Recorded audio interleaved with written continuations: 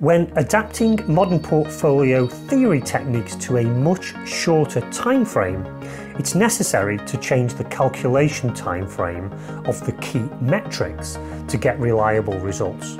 All will be explained. Stay tuned.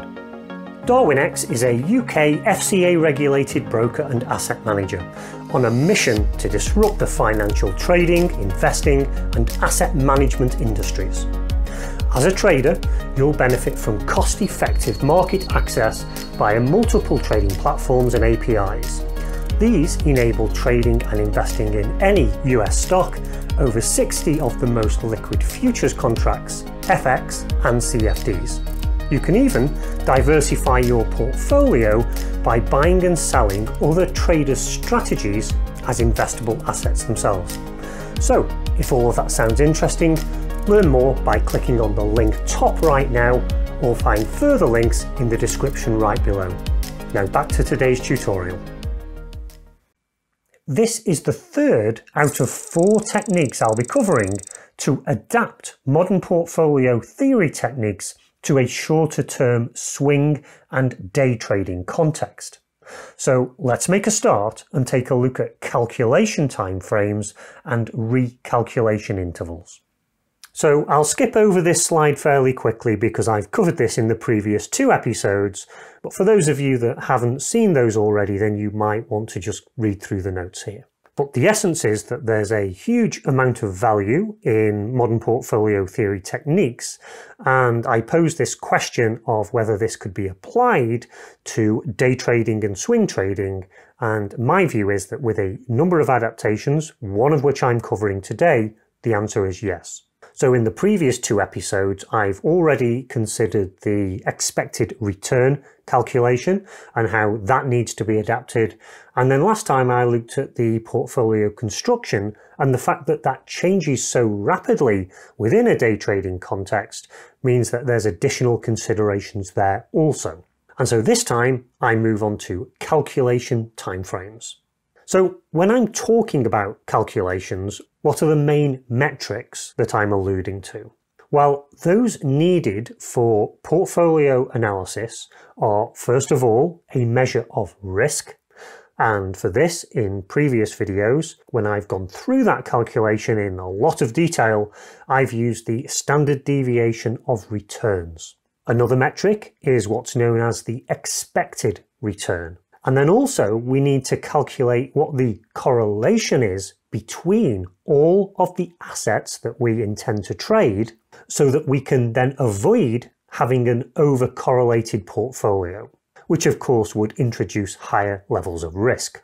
Now, typically, all of these calculations will share the same calculation time frame. And certainly in the examples that I've provided previously, where I've looked at this in Excel, that's exactly what I've done. So this is one of those Excel examples that I produced. And you can see, for example, here, in terms of the standard deviation of returns, that's using these daily values that we calculated here. Likewise, in terms of the expected return, we're using those same values for that calculation. And then in terms of the correlation between the assets, again, we're looking at one compared to the other, but based on daily returns. And in more traditional portfolio management, depending on what that time frame is for the investment manager, They'll probably be calculating these metrics, maybe on a daily time frame, but maybe longer, maybe on weekly data or even monthly data. But the main point here is that these metrics will not be optimal if we're looking at shorter duration positions, as we are in swing or day trading. So here, these will need to be adapted. And again, it will depend on what kind of time frame you personally as a trader are targeting but you might consider performing these maybe using 4 hour data, 1 hour data or even less if your time frame is particularly short term. So based on this, now let's look at some of the practicalities and the implications of this.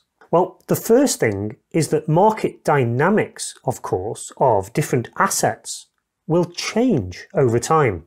And so metrics that we might have used, let's say, a month ago for things like standard deviation of returns, expected return and correlation coefficients will not be as relevant for the trading decisions we're making right now as they were a month ago.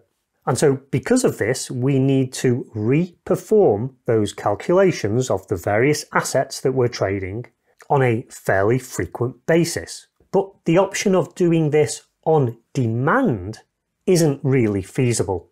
So if you were performing these calculations at the point of opening each position and after closing positions to do a full re-optimization of the portfolio, the latency of that would probably be too large. And so I can tell you the approach that I take personally so that you can decide whether this is right for you or not. But I calculate all three of these key metrics overnight and then those values for every asset and the correlation values for every combination of assets is stored and used throughout the next day's trading session. And what this means is that that overhead in terms of performance is happening between the US session closing and the Asian session opening. And that's a time that I don't trade anyway. And then the calculations throughout the day are then much quicker because I'm using those pre-stored values. However, there are still certain calculations, such as looking for that optimal position on the efficient frontier, that will of course need to be performed real time when these trade actions occur, because you have no idea what calculations you'll need to perform until those trade actions actually happen. So there is some latency here, but you can do a lot to reduce it at the time that we are opening and closing those positions. But again, it isn't really feasible to be able to perform these manually.